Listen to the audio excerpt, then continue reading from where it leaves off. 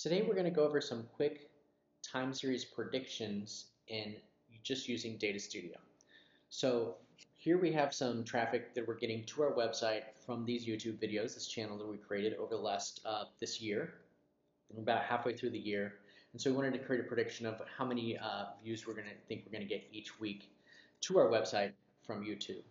Um, we created a very basic model here um, and this just uses everything just in uh, Data Studio. So if you actually click over here and edit this, what we do is we just have the actual line here of data over the weeks of actual visitors that came to our website from this YouTube channel. And then we added in, in the style, a trend line. Now, we just use a linear model here, but if your data, say, looks exponential, you could do it like this, or if it's polynomial would look like this, but once again, the polynomial kind of like expects these sort of trends and then dies out there. So really you're going to look at the linear or exponential depending on how your data looks. That being said, um, it's not super powerful it's, and it's not super complex accounting for a lot of different variables. Um, so you can do it there. Another thing that you can do as well is you can actually remove the original line. So here we have the same series, but it's actually just the prediction. So what we did is we just uh, hid the main line, but still included that trend line as well.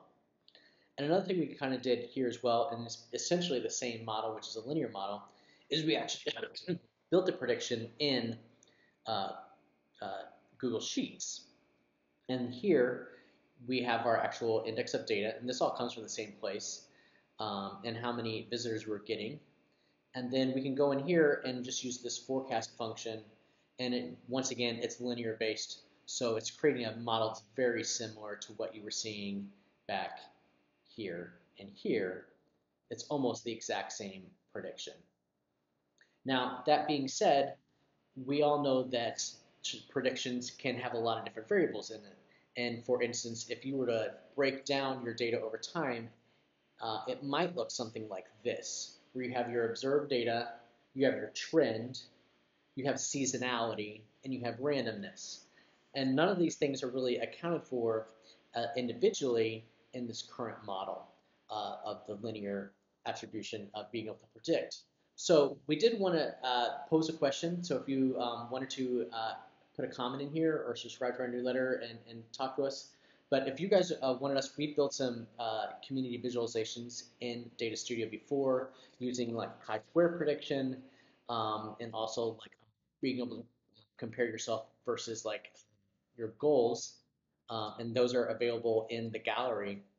But if you're looking for one that does a little more robust uh, trending uh, of time series data, let us know in the comments and we'll be happy to build that out. We just want to see if there's an audience for it, if or Maybe you just like what we already have.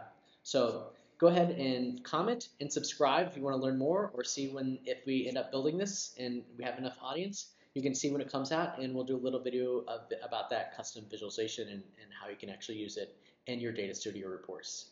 Thank you very much.